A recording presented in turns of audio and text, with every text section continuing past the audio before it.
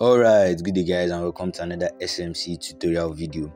Alright, so in today's video I'm going to be showing you guys how to buy and sell tokens using the Ston.fi decentralized exchange built on the Ton blockchain, right? So um we're going to head over to Tonkeeper wallet, right? It's going to require our passcode. So I'm just going to put in mine. Alright, so we're going to head over to the browser section the extension link is app.ston.fi right?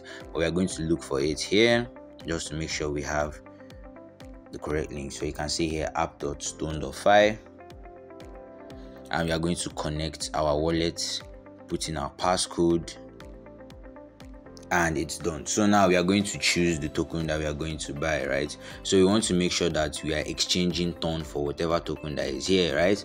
What we have here is fish uh, we have fish over here. So um okay let's just decide to buy fish right? But if you have the tokens contract address and you don't find it here you can paste the token address here and you know get the token right? And then you just select it. But for this i'll be buying fish. So i'll just be buying one ton worth of fish right? Hit swap. Confirm the swap.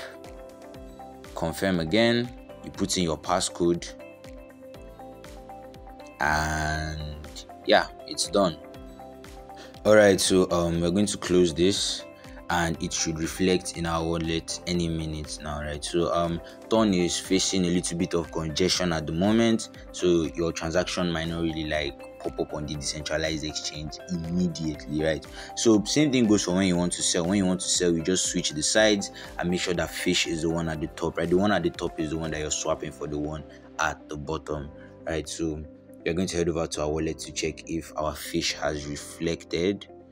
All right so our fish has reflected and you can see that fish is up 13 percent um in the last 24 hours right? So basically this is how to buy and sell using you know the Ston.fi decentralized exchange right? So like i said when you want to sell um the fish for ton or whatever token you just switch sides. Then you choose the amount right can always go for the max amount and then you hit swap same procedure for buy you confirm the swap and i don't want to sell this right? But then you confirm the swap and that's how you do it right? So i hope you guys have fun trying this out. Be sure to like and subscribe and yes i'll see you in the next video